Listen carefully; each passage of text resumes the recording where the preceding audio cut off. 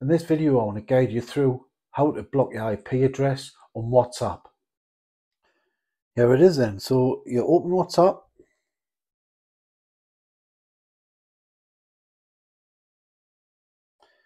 You scroll to privacy, click on privacy. You scroll all the way down to the bottom to advanced. Press advanced.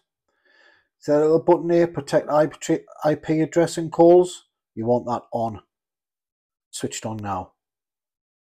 Well, I hope you like the video. In this guide, I want to show you how to change your settings in WhatsApp so no one knows when you've last been online.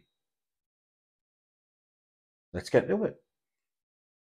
You go scroll a little bit, you go to privacy, you go to last seen online. You want to change it to who can who can see my last seen? Nobody and also who can see when I'm online, same as last seen, so nobody again. There, you're all done. So no one can see you online and when you've read the pictures and last been online. A bit more security for people. Hope you like the video.